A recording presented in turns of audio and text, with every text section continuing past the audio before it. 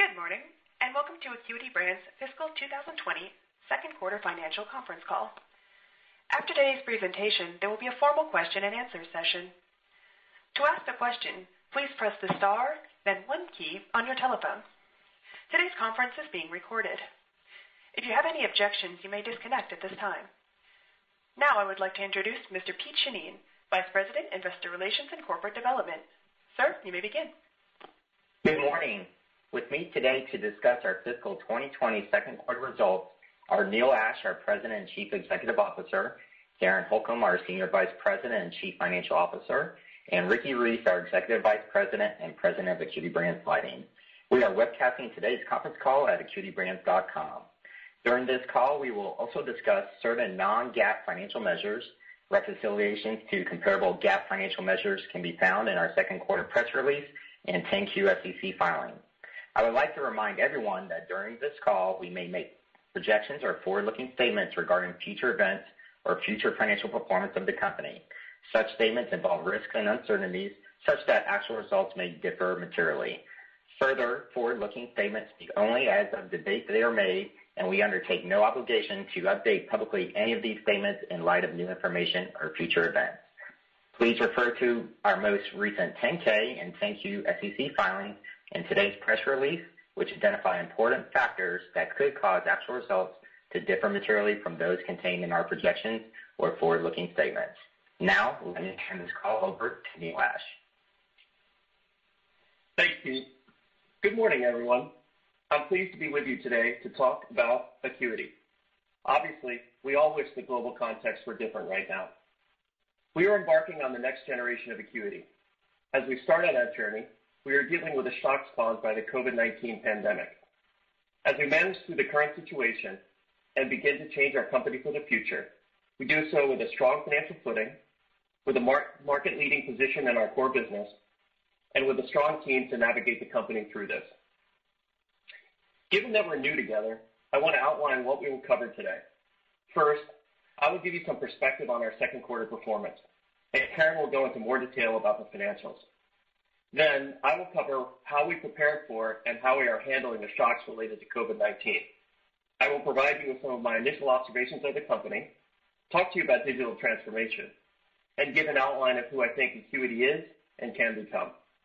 For consistency, we will continue to discuss the business and present metrics that you have traditionally seen for at least the remainder of this fiscal year.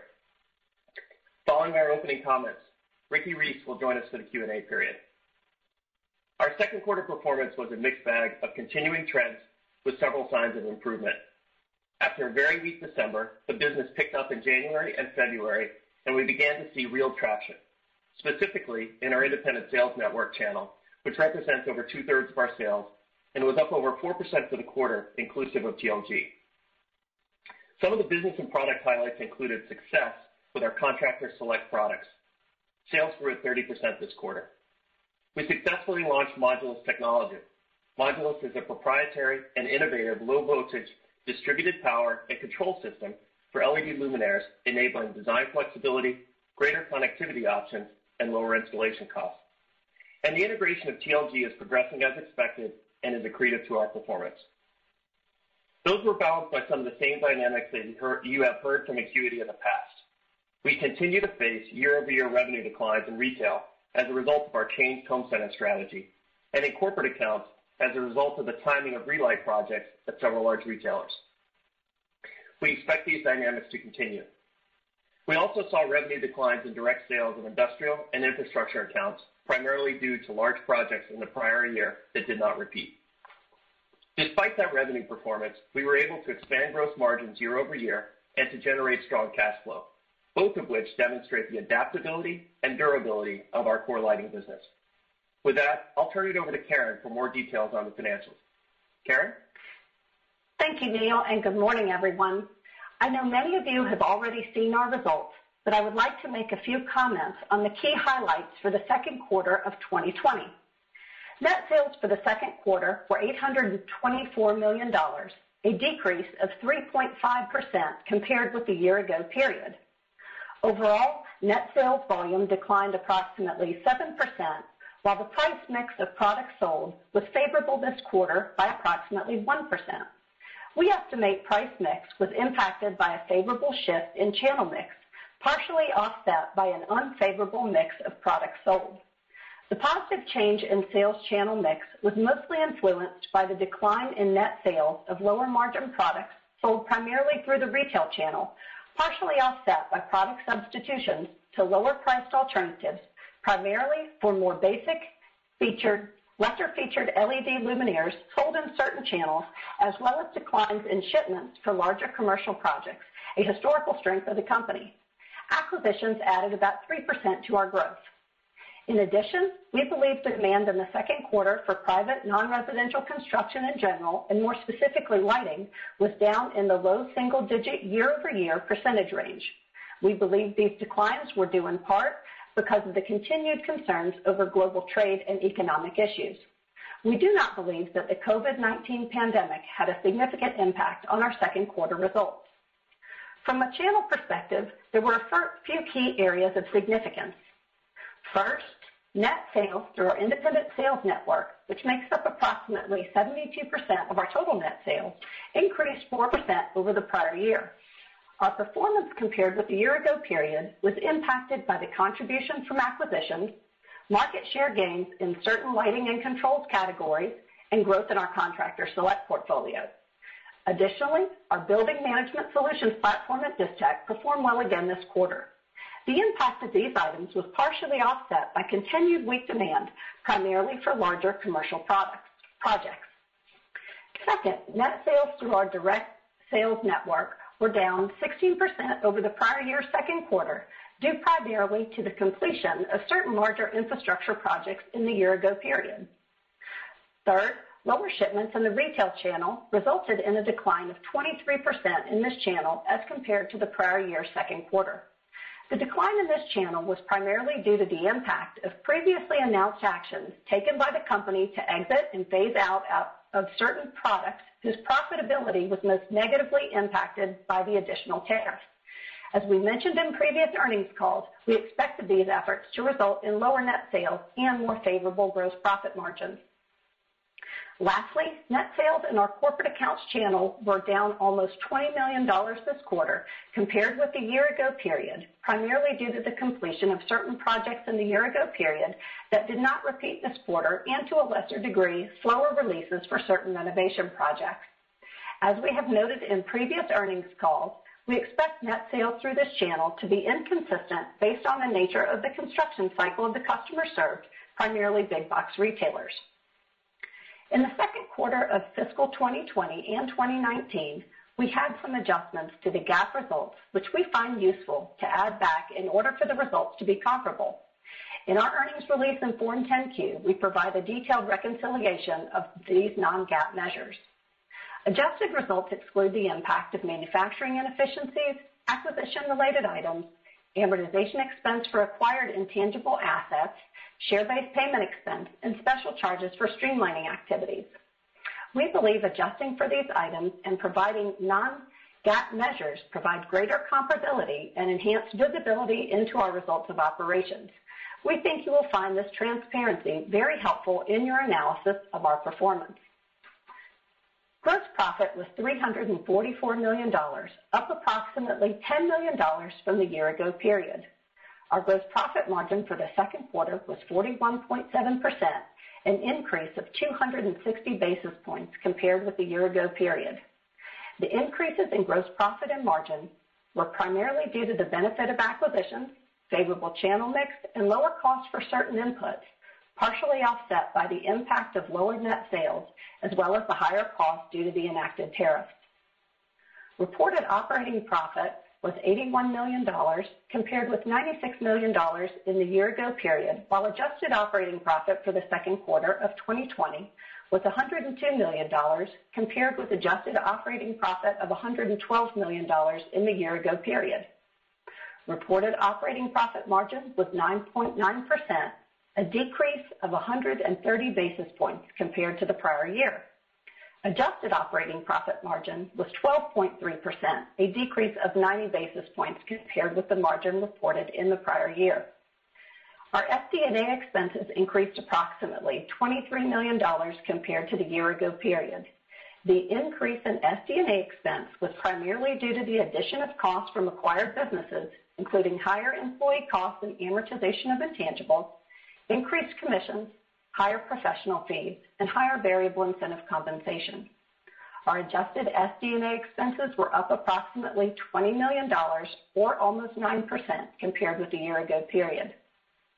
The effective tax rate for the second quarter of fiscal 2020 was 23.4% compared with 23.1% in the prior year quarter. We currently estimate that our blended effective income tax rate before discrete items will approximate 23% for fiscal 2020. Our diluted EPS for the second quarter of $1.44 was $0.23 lower than the prior year. Our adjusted diluted EPS this quarter was $1.84 compared with $1.99 reported in the year ago period. The decrease was primarily due to lower pre-tax income. We continued to have a positive cash flow from operations and ended the quarter with a strong balance sheet. We generated $250 million of net cash flow from operating activities during the first half of fiscal 2020, which was up $26 million or 14% compared to the prior year. At February 29th, 2020, we had cash and cash equivalents balance of $381 million, a decrease of $80 million since August 31st, 2019.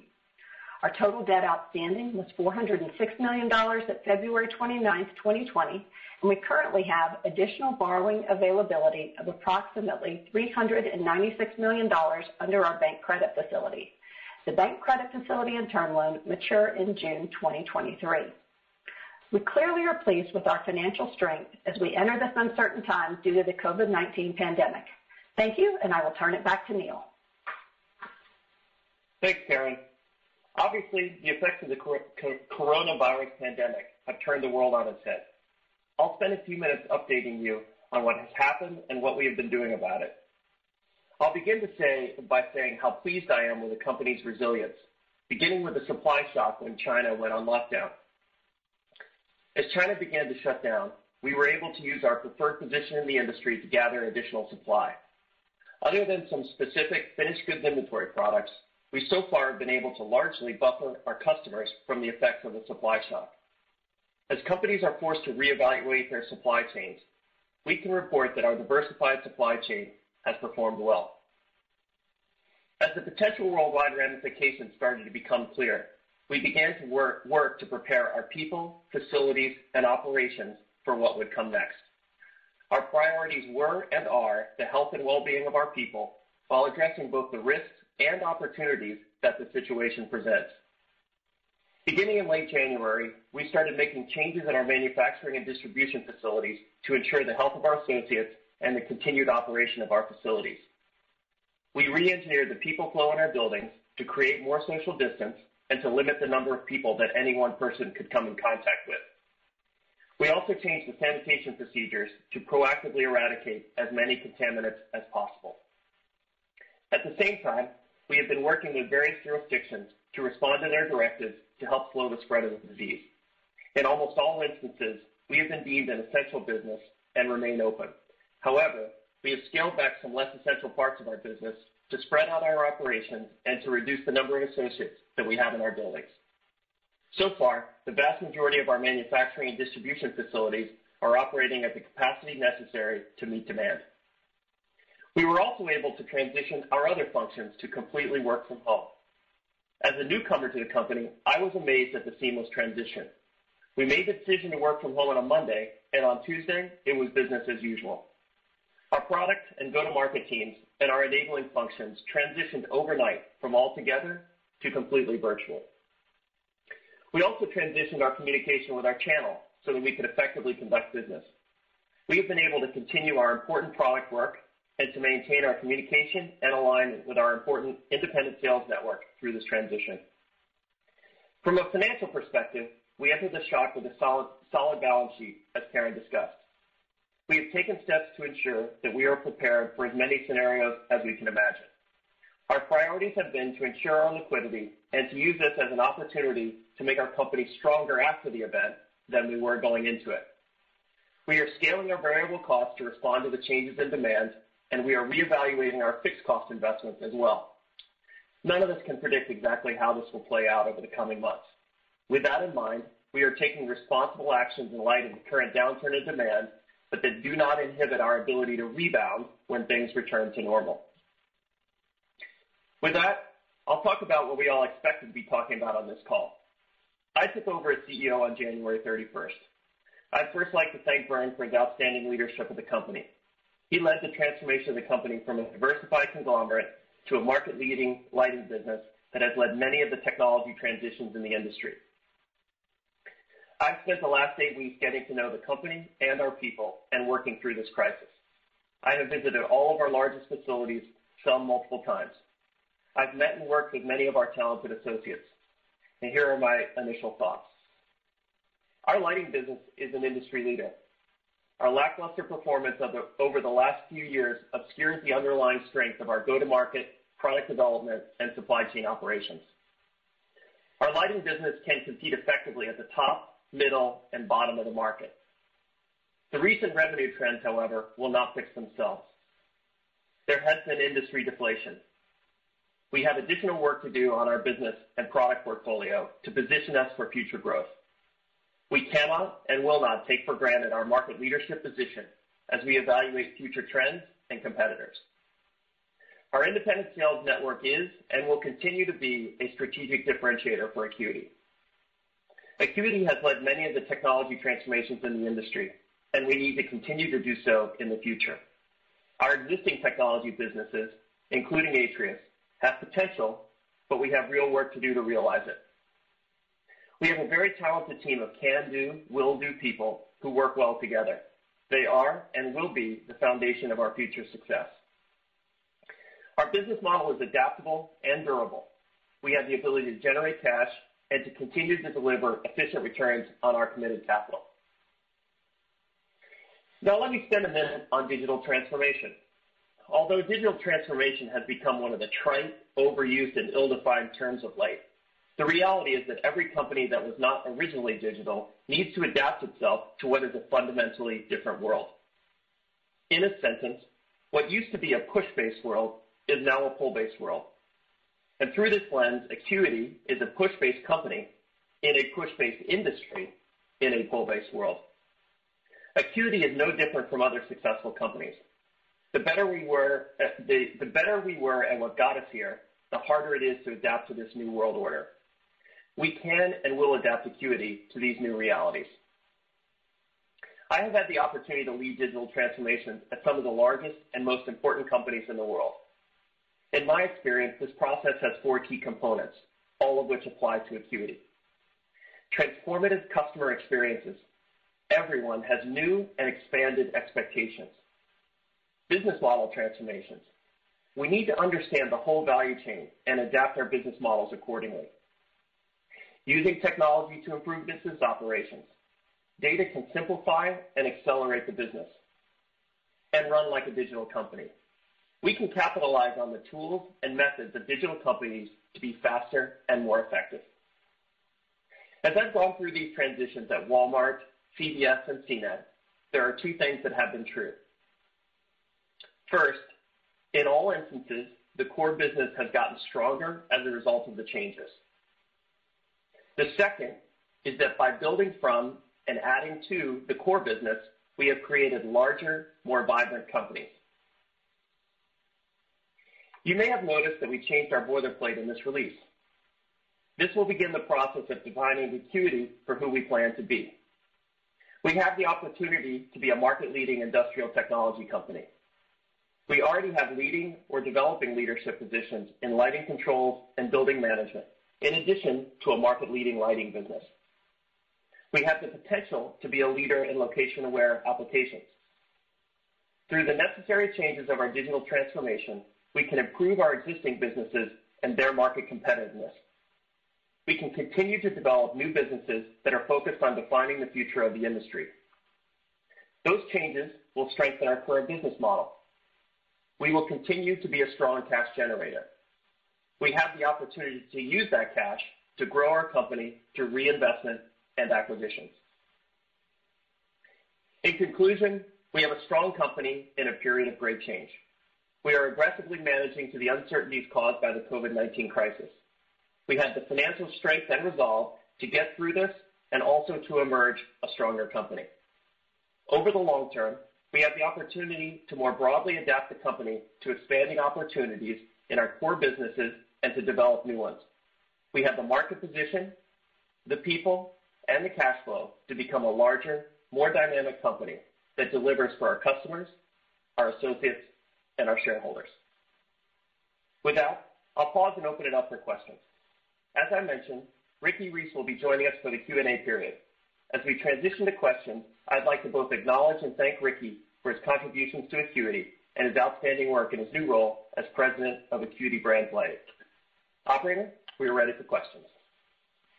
In order to provide everyone the opportunity to ask questions, the company asks that you limit your questions to two per caller. If you have further questions, simply reinsert yourself back into the queue, and your additional questions will be answered as time permits.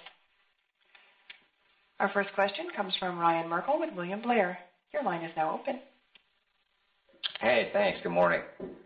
So, First off, uh, Neil, you mentioned opportunities that COVID presents. So I'm curious, where in your business do you see revenue opportunity, and where do you see the biggest challenges? Thanks, Ryan. Um, as I said, we're trying to deal with both the um the challenges and the opportunities. So the challenges are obvious as we scale the business um, appropriately. We feel like we entered this period with developing momentum around our product portfolio in the core lighting business, and we have the opportunity to continue that process as we as we emerge from this. So the combination of the strength of our supply chain as we've been able to manage and um and have consistent supply through this process, as well as some of the new product portfolio that we've been rolling out, give us momentum for uh for the whenever we emerge from this, and we think those are real opportunities. We also think there's opportunities to uh to do some of the hard work under the covers that we need to do to evolve the company. While we can't solve those and make those changes in months, we can get a little bit of a head start while uh while we have folks that have more time on their hands than they would have otherwise.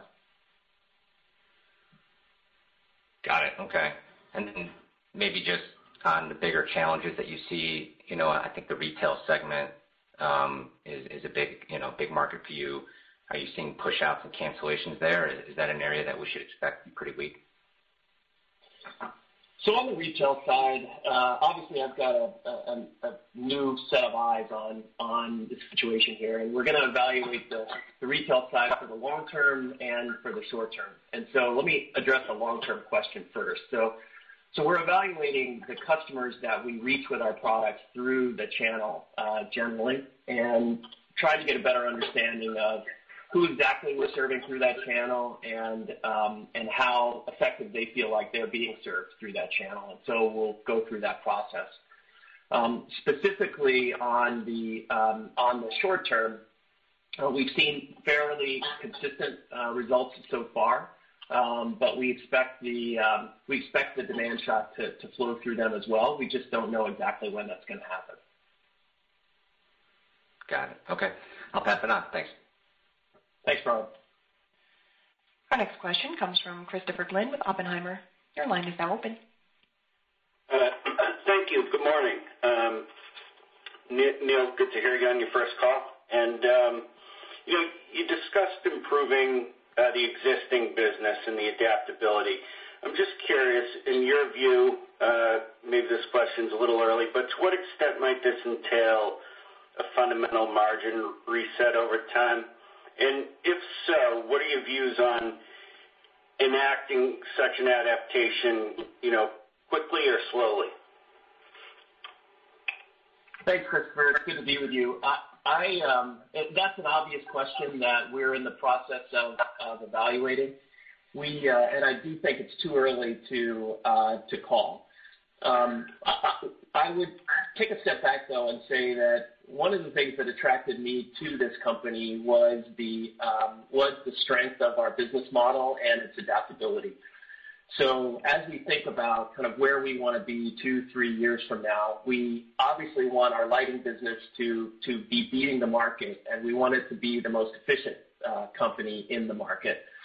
And the exact implications then on how we potentially restructure the income statement a little bit over time are still to be determined.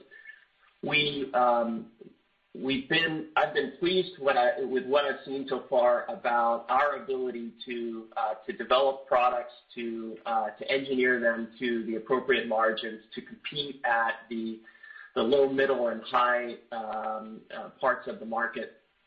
Um as an as as an outsider, one of the first things I wanted to understand was how effective we were at competing at each one of those sections of the market. And I think our Contractor Select performance is demonstrating that we can compete effectively in pretty much any product scenario. So then as we think about kind of what our long-term revenue makeup is going to be based on customers we target and products we offer, um, that will be the ultimate determinant of how we um, of how we manage that income statement going forward. And our priorities will be to get to a position where we can be a market leader with Um, more predictable revenue growth and um, an appropriate return on our capital. Uh, thanks. That's really helpful. And then just kind of a bookkeeping question for follow-up. Uh, the uh, adjusted SD&A was up about 20 million year-over-year. I'm guessing maybe $5 million or 7 million from the acquisition. So you know in this demand environment where your revenues are contracting, can you just contextualize the growth in the SD&A? Yeah.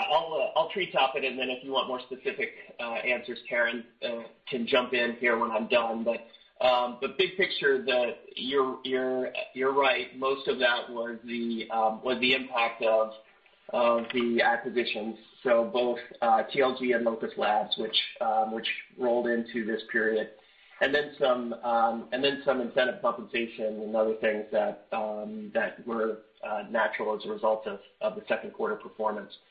Um as we're thinking about kind of the um the changes that we're making as a result of the crisis, I want to emphasize kind of what I said earlier, which is that we're going to um we're managing, obviously, the variable costs uh aggressively. And it's worth saying out loud that the variable costs don't manage themselves. So that's that's hard work, and we're on it. We're also taking a look at the distribution of our fixed costs so that um so that we're positioned for where we uh we want to be going forward. Um that work is ongoing. So um so we'll continue to to uh to take a look at that um through the through the period. Thank you. Our next question comes from Brian Lee with Goldman Sachs. Your line is now open. Hey, guys. Thanks for taking the questions. Um, I guess, um, you know, kind of staying staying on the topic of the day, The um, you know, the recession recessionary environment we're entering here, I know it's still very fluid, Neil, but as you think about you know, framing the potential downside here for the market, if we take 2008 to 2009 as context, there was a roughly 20% decline in revenue for Acuity uh, during that downturn. Why or why not would this downturn be um you know less severe? And I guess that's in the context of just you know, a lot of your end markets right now, commercial office, hospitality, it seems like those are seeing the most uh, shutdown um, and restrictive policies from stay-at-home uh, mandates. So just wondering if you could frame for us a bit how this compares to the last downturn of 2008, 2009 when revenues were down 20%. Yeah. I'll start, and then I'll kick it over to you, Ricky, since you were actually you actually lived through the 2008, 2009 downturn and can provide kind of direct comparisons. I'd say the way we're starting to we we've been modeling this, Brian, is we've been trying to think about it in terms of months and um and depth and of decline. So um this has been sort of a, it's almost like a series of rolling brownouts, is the way I would describe the demand as we're seeing it across the market. Obviously, we have continued to to uh to to write orders and to sell, and a lot of what we've been supplying is for important things, from you know from field hospitals to uh to to government facilities to to other infrastructure projects necessary to get through this. And so we've seen a range, we've modeled a range of outcomes by month that um that are could be really steep, and but we don't know for uh for how long.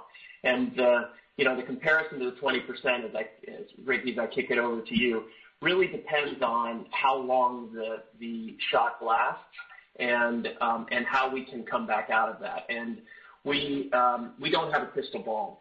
Ricky, you know, you want to pick it up from here? Because we're thinking about both on the on the the top line and how that might evolve.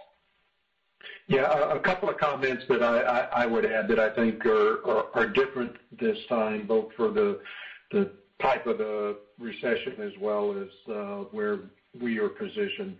First, on the type of recession, the depth may be as deep, no one knows, as what we saw in 2008, 2009, but most people believe it won't be as protracted. Uh you know, that uh, big recession you know, lasted for two years or so, 18 months, two years before you saw a recovery. Most people, uh, no one knows, but most people believe this one will, maybe not a V shape, but that we will see a rebound once this uh, situation passes, and hopefully we have um, opportunities to treat this and vaccines and so forth should we see a rebound.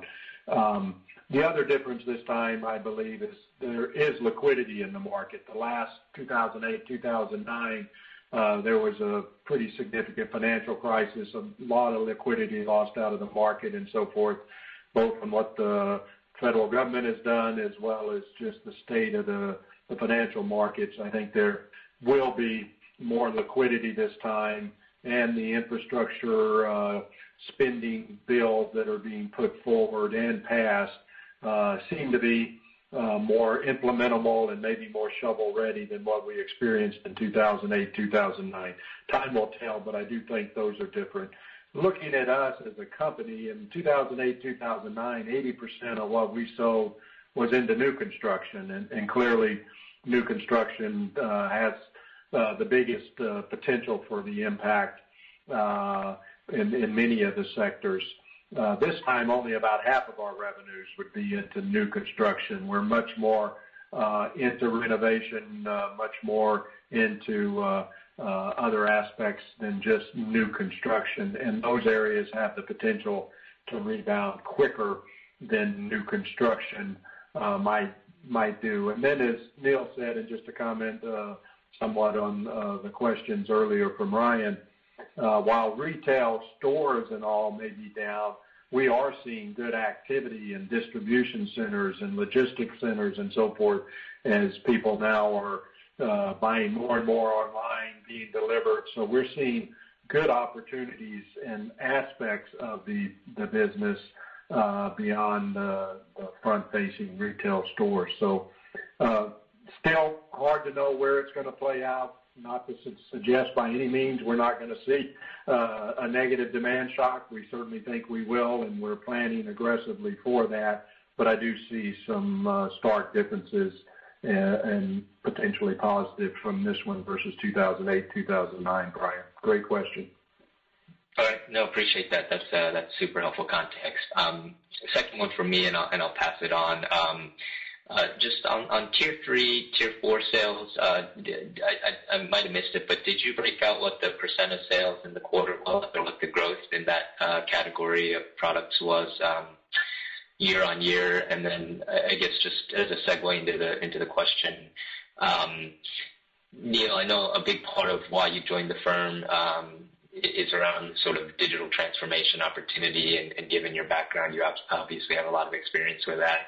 As you think about you know, beyond COVID-19 and sort of um, uh, as we as we move into more of a normalized environment, whatever that may be coming out of this, do you see kind of at a high level a need to sort of pivot the strategy around transformation given you know, what might be the fallout in the retail environment?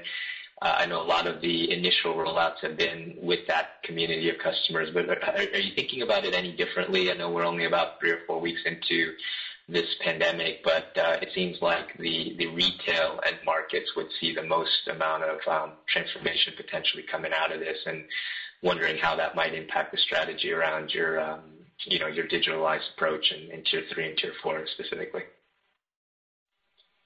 Yeah, Brian, I'll um I'll chew on some of that, and then um, Karen or Ricky jump in here at the end with uh, with any specifics that you feel like I left out. So, um, Brian, just to start where you finished, I think it's I think it's undeniable that this will be one of those events that after which nothing will be exactly like it was before. Um, as we imagine kind of the strategy for the company going forward, we are um we are mindful that um, that we expect there to be pretty major changes uh, coming out of this. To uh, to spend a second again on digital transformation, I think one of the the things that um, people often do is think that digital transformation is is somehow using technology in the organization, which is why I went through the four things. But it's really what we do and how we do it. So you picked up on the strategic part. As we think about kind of what services we can provide with our technology to uh, to other to other endpoints, both retail and otherwise, it really falls into to two buckets, which is we can either be in the business of moving market share, or we can be in the business, our our data can be in the business of moving market share or delivering efficiencies for our uh, for our partners. So, um, so as you think about kind of the technology that we've obviously rolled out in retail first, there are real opportunities to do both in those uh, in in those categories, and those needs will probably be more prescient after this than they were before this. The efficiencies necessary also will translate into other um into other examples. Ricky mentioned the impact in um in industrial facilities and the opportunities that that presented. I was in our Des Plaines distribution and manufacturing facility, and we run Atrius in that facility to uh to manage all of the materials in that. We have a we have uh an app that we use there that manages or evaluates the productivity of forklifts. It's uh on the face of it, it's a small thing, but it's a window into the different ways that um that this technology can be used. So um so I think it's a truism of technology that the impact is overestimated in the short term and underestimated in the long term. And I think our location-aware applications that we're describing here will continue to uh, will take a longer than we expected to realize, but the the potential opportunity may even be larger than we originally uh, expected. And then Second, um, on just kind of the general technology evolution, um, I would say that like at all parts of the business, both the lighting part of the business and then the um, the controls and and and other kind of and ultimate location-aware applications will continue to walk themselves up a technology curve. So the um, I often describe technology companies as their it's really not about ones and zeros or about technology products, but about really the the length of the product life cycles. And so as we shorten those product life cycles, we can be continually moving customers and products up the curve of, of technology. So that'll help happen. We expect we all expect that to continue to happen in our core businesses, both the lighting businesses and the um and the controls businesses that we've historically you know lumped into into tiers. So big picture, I think that it's going to take a while, and it might be slightly different but the the up on the you know kind of location-aware applications. But big picture, they're about data that either moves market share or creates efficiencies for customers and companies. And they have applicability in multiple different verticals over time. Uh, feel pretty confident about that. And that our controls business can and will continue to be a um, grower and has real market uh, opportunity. Ricky or Karen, do you want to add in to any of those specific answers? Just a couple of comments from me, and then Karen, you may want to provide some of the specifics on the percentage of sales and growth of tier 3, tier 4. I will say tier 3, tier 4 continues to be a focus. The solutions we're building uh, that are much more than just the Atrius. We do have uh, uh, the networked energy-focused type solutions that we sell. The unified system is getting traction and so forth. Actually pretty excited on the development and all side of tier 3 and tier 4.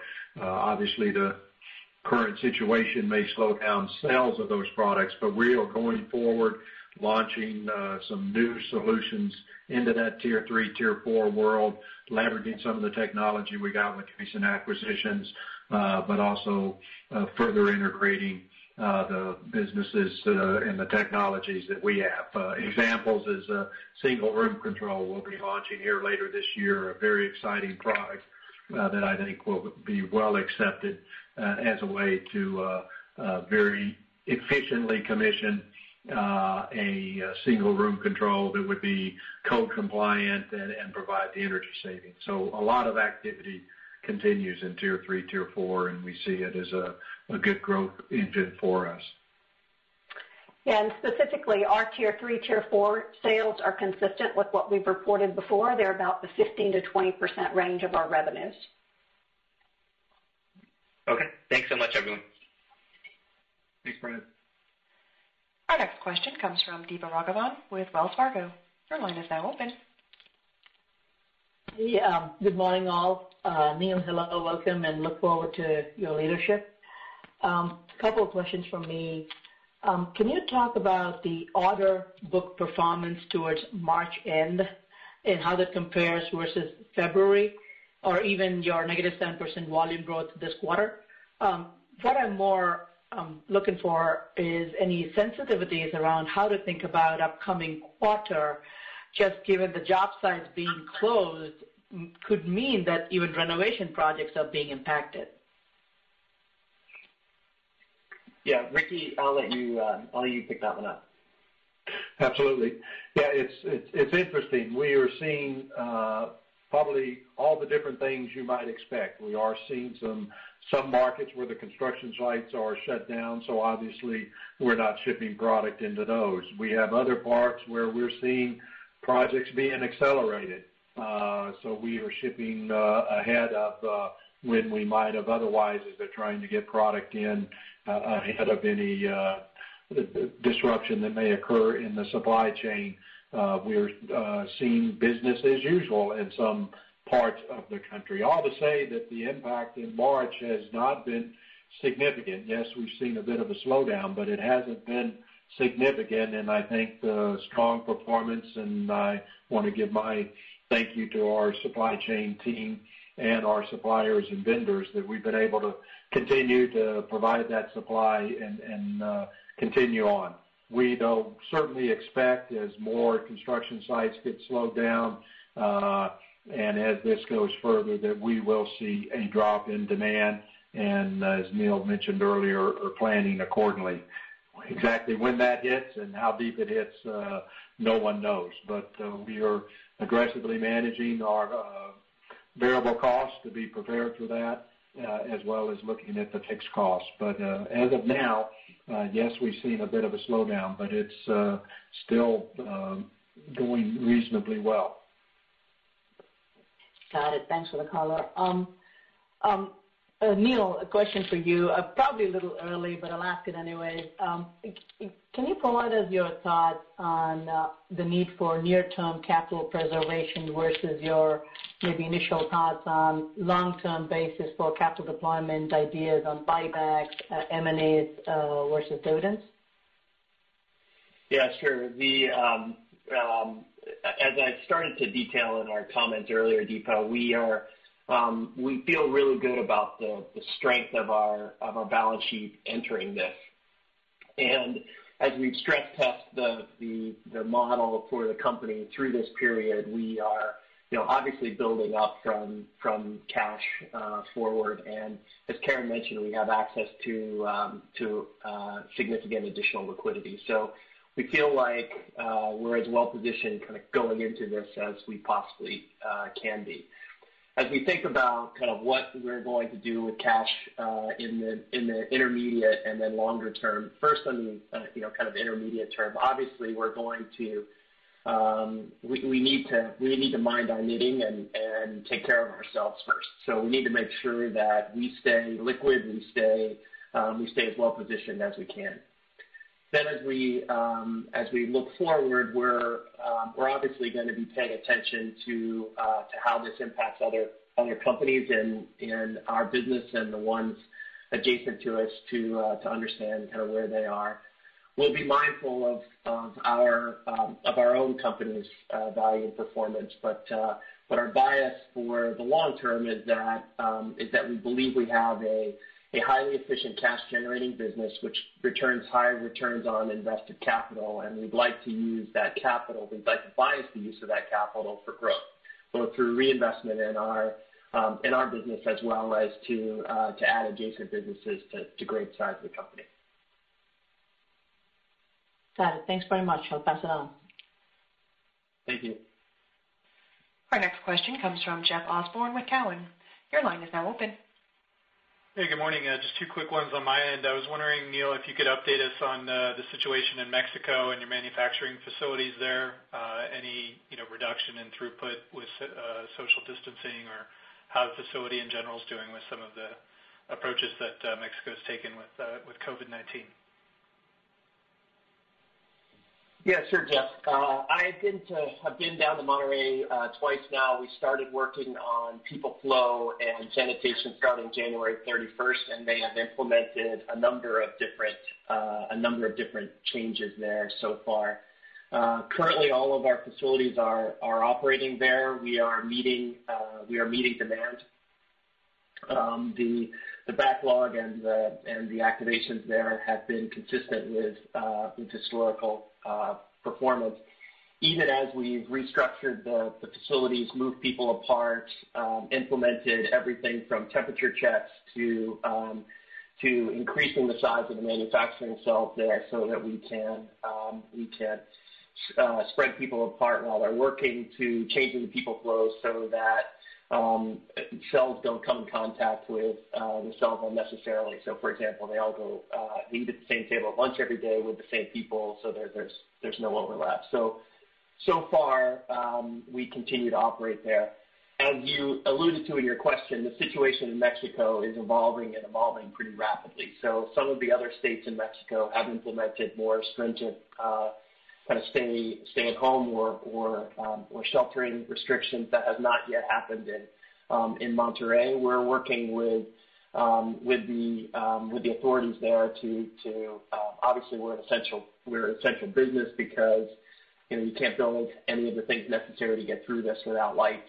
So we're um we're continuing to work through that, and we we have a we have a very constructive, positive relationship with the authorities there and our associates to to help make sure that we're doing everything that we can, and we'll move forward. But you know, as you allude, the context there is fluid. It continues to change, but as of now, Um we're operating at limited demand there in Mexico. That's great to hear. Um and then my second question was around you know your approach to the monthly modeling and sensitivity. Not looking for what the specific figures are, but certainly, Uh, regional diversification is imperative to understand you know, as it relates to an outsider understanding uh, what your exposure is to the current situation, let's say, in April and the first half of May.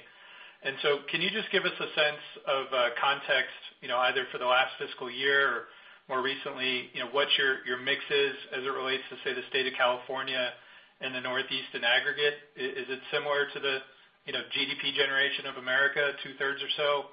I'm just trying to get a sense of your regional diversification. Certainly, states like Georgia uh, have just implemented measures relative to California being the first. I'm trying to understand, as we think about, in particular, this upcoming quarter, what your scope of uh, reach is on a diversified geographic perspective. Yeah, I'll start, and then um and then I'll pass it to Ricky for uh, for any additional color. Our modeling has been to be um to be dramatic and to be relatively universal. So as we've looked at it from a from a build the company up perspective, we have not want um we we don't want we are not we have not allowed precision to be the enemy of insight as we've done our um as we've done our modeling. So we've assumed you know kind of the worst cases and worked our way back from um from there. As Ricky started, and I'm about to hand off to him, but as Ricky alluded to before, our demand so far has not um has not obviously been the worst case, and we've seen it kind of roll through different areas of the country. I'm talking about demand, not the demand shock. So Ricky, do you want to address kind of how that's happened and how you think about our regional diversity? Absolutely.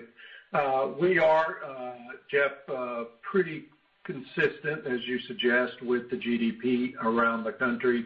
I would say we may be a little, and I stress a little, I'm talking you know, percentage points, a little less in maybe the very large urban areas and a little more therefore in the in the rural uh, heartland type areas. Some of that goes back to uh, the legacy of uh, one of our brands, our largest brand, Lithonia Lighting, which was the best value in lighting and does extremely well uh throughout the country. And and uh and our focus has been probably disproportionate there versus some of the more architectural higher end that would be bigger in the urban areas. Think of New York City, Chicago, uh and and uh L.A., and so forth. Having said that, we've done a lot to build out our architectural capabilities and so forth. So we're pretty close to that. And yes, we are seeing, as you would expect in the geographies where they are having the most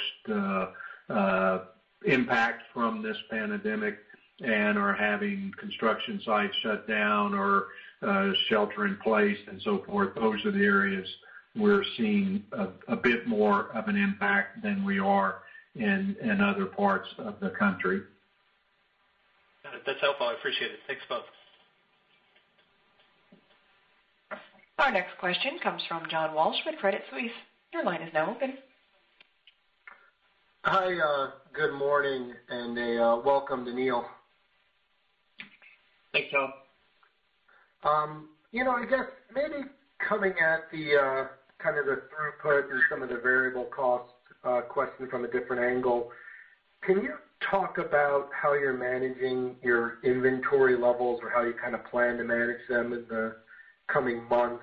Should we think that you know, there'll be kind of a drawdown on inventory as the demand outlook is a little bit uncertain? Or um, you know, any color you could provide there as we think about you know, how it relates to free cash flow in the coming months as well? Yeah, sure. That's a great question and one we've spent a fair amount of time on. So, um, so again, I'll start and then Ricky, jump in if you feel like you want to add something. But um, because there are two things going on here, there's the there's the the impact of this rolls through first the supply shock as as Asia and China specifically started to shut down. And then there's some of which the impacts are continuing. And then there's the how long does this last and um you know how do we smooth our production and such through this. So I'd hit kind of maybe three big buckets there. The first is on um on Asian finished goods inventory. We have um we have been we have been pretty consistent about maintaining that that supply so that um so that we can make sure we're in the market with those products over the last month, and we'll continue to do that over the next. Um, the second is that we've been aggressive about making sure that we have access to uh, necessary components for our other products. So, um, so the um, and where we might have been we might have been easing back on inventory in preparation for this, we've made sure that we have uh, we have supplies uh, there, not in an irresponsible way, but in a way that to make sure that we're available to the market and we come through this, both through this and after this as the as the supplier that the market could count on. And then finally, the the production and management of our production efforts. We still manage, as you know, a pull-based system. So we are we are um we are building to demand there. So we're modulating where the inventory uh the inventory levels as they uh as they come through that. Basically, we are um we are building to demand. Ricky, anything you want to add to that? Yeah, I would just stress that uh yeah we are pretty far in our lean journey, particularly in the supply chain. Virtually all of our inventory, both components and finished goods is on Kanban. So as Neil rightly explained, very much a pull base. So as we see demand slow down, it will automatically slow down the purchasing of components and finished goods to match that demand. Yes, we do a little bit of oversight on that as we know of big projects or or uh, spikes that uh, may come into that. Uh, but it works really well. We're well tied into our supply base. So I'm confident that we will be able to continue to aggressively manage this inventory during this time timeframe. We do, as Neil said, want to take advantage of our size and scale uh, to be that supplier that people can count on uh, if the rebound comes back uh, very quickly or as we're seeing, there's critical demands, whether it's for mobile healthcare facilities or or infrastructure projects and so forth, that we can be